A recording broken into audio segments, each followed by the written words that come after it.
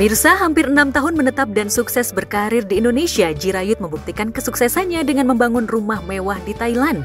Sementara dirinya memilih tinggal di apartemen di kawasan Jakarta Selatan. Dan lantaran bosan dengan hiruk pikuk kota Jakarta, pedangdut asal Thailand ini akhirnya memilih untuk mencari tempat tinggal baru di luar kota Jakarta. Setelah mencari-cari, Jirayut akhirnya memilih menyewa rumah di kawasan Depok, Jawa Barat. Wah, makin deket sama Halda nih. Secara Halda warga Depok banget kan? Nah, emang tempatnya enak aja. Di Indo, enggak itu masih ngontrak guys. Cuman masih tinggal tempat baru. Ya kemarin kan di daerah Jakarta, sekarang aku pindah ke daerah Depok kan. Maksudnya uh, aku pengen cari suasana yang baru. Siapa tahu kan tempat yang baru bisa bikin lebih uh, lebih banyak rezekinya, bisa banyak temannya, dan banyak hal-hal yang bagus masuk gitu. Jadi kita harus refresh juga tempat yang baru. Gitu. Ya, meski bukan rumah pribadi, namun Jirayu tetap bangga dan bersyukur lantaran bisa memberikan tempat tinggal yang nyaman untuk sang mama. Dan sebagai bentuk rasa syukur, Jirayut pun menggelar acara syukuran sambil memperlihatkan bagian-bagian rumah minimalis bertingkat dua yang kini menjadi tempat tinggalnya. Tempat lari, insya Allah lari ya. Lari yang benar ya, jangan lari dari kenyataan ya guys ya. Dan ini juga ada sofa, ada bunga, dan ini tempat tuku, lihat. Loh, sebelum mau nunjukin kamarku, aku mau ke dapur dulu. Dapur dulu. Wah, ewa. Ini dapurnya agak berantakan guys, kalian bisa lihat. Soalnya malam hari ini mau bikin syukuran ya. Uh, aku ya yang penting nyaman aja kak nyaman bisa bisa membuat aku pulang beristirahat dengan tenang dengan, dengan enak itu aku udah oke okay, gitu nggak harus kayak gimana gimana ya ini kayak minimalis juga kan maksudnya sesuai budget aja dulu gitu Ya, meski rumahnya terlihat sederhana dan tak terlalu mewah, namun Jirayut begitu happy lantaran kini dia memiliki kamar pribadi dengan kamar mandi di dalamnya. Lantas, apa alasan Jirayut memilih kamar di lantai bawah? Ini nih, masuk. Ini adalah kamar aku, guys. Jadi aku kenapa milih di bawah karena emang aku orangnya malas naik turun ya. Jadi aku milihnya di sini. Lihat lucu nggak? Ini kamar cowok loh. Kamar cowok loh. Kamar cowok ya, oke. Okay? Dan ini adalah toilet. Uh, lumayan ya kan buat buat anak cowok gitu kan. Nah udah. Jika para selebriti memiliki ruang wardrobe sendiri yang menyatu dengan kamarnya, sebaliknya Jirayut justru memilih lantai dua untuk menaruh semua wardrobe atau baju-baju yang dipakai untuk syuting. Ya, dan ini adalah wardrobe kamar aku. Semuanya di atas ini wardrobe burung, eh wardrobe burung. Wardrobe aku semua ini. Lihat, baju-baju aku semua dan Tinggal di rumah baru, Jirayut pun berharap jika nantinya rumah ini bisa membuat dirinya nyaman dan mendatangkan rezeki yang baru. Lantas benarkah Jirayut berencana akan membeli rumah mewah di Indonesia? Tahu ya itu ya, ya kita lihat aja ya ke depannya ya. Sekarang ini ya nikmati aja dulu.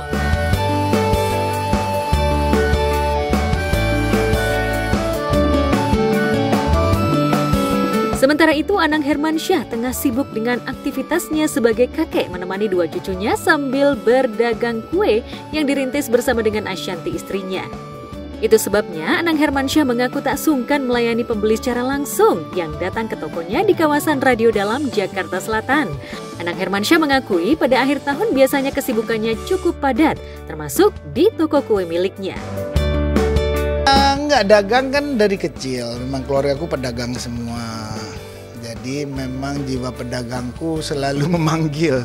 Nggak bisa enggak ya. Jadi memang kebetulan juga istriku senang dagang Santi jadi dia produknya juga banyak. Apa pun juga ya inilah bagian perjalanan yang aku jalankan selama karir sampai umur 55 tahun ini di industri musik Indonesia. Maklumlah, Anang Hermansyah sudah memiliki rencana liburan akhir tahun sekaligus menyambut tahun yang baru bersama keluarga besar di Bali. Sehingga sejumlah kegiatan yang harus diselesaikan tahun ini sebisa mungkin dikerjakan. Nah, akhir tahun ini kita akan pulang ke rumah kita yang di Bali. Jadi kita akan berangkat ke Bali Uh, kita akan sedikit lama di Bali sampai akhir tahun kita akan di Bali. Hari Raha tahun barunya mungkin mak lagi menunggu abang sama Aurel karena ingin merencanakan tahun baru bersama. Selain itu, Anang Hermansyah juga memiliki kegiatan lain yakni sebagai juri Indonesian Idol 2024. Suami Ashanti itu tak menutup rasa bangganya kembali didapuk sebagai salah satu juri utama Indonesian Idol Season 13 yang akan digelar pada 9 Desember mendatang. Idol itu punya cita-cita yang sangat bagus buat industri musik Indonesia karena cita-citanya bagaimana bisa menemukan idola-idola Indonesia untuk disampaikan menjadi bagian dari industri musik. Itu yang menarik jadi selalu aku terpanggil untuk bisa berkontribusi di dalam menjadi bagian Indonesian Idol untuk menemukan eh, calon-calon uh, superstar Indonesia.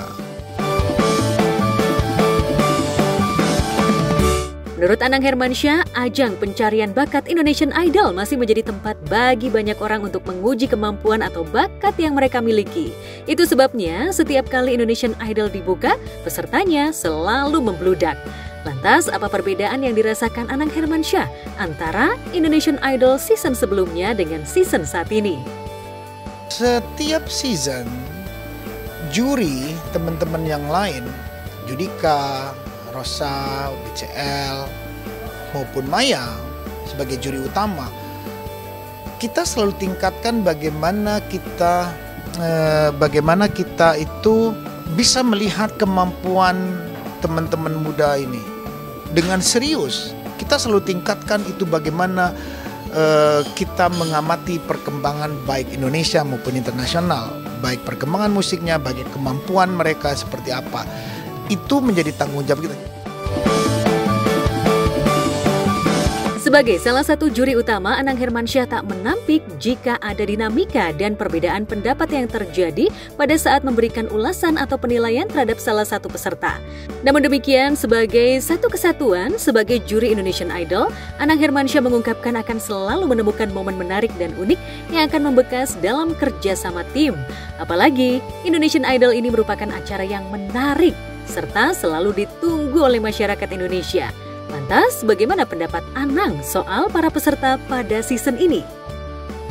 Nah inilah yang aku bilang kenapa idol itu selalu unik dan menarik bahwa tanggung jawab seluruh tim ini adalah kerja tim yang hebat yang dibuktikan oleh uh, Indonesian Idol. Ini kerja tim hebat jadi semua pendapat kita adalah pendapat perjalanan yang real. Itu yang menarik. Makanya di setiap season kalau dari kita kita selalu menaikkan tensi kita. Kita selalu berjalan terus, kita juga masih eksis di industri. Yang menjadi kata menarik setiap season adalah peningkatan anak muda Indonesia untuk masuk ke dunia industri musik ini.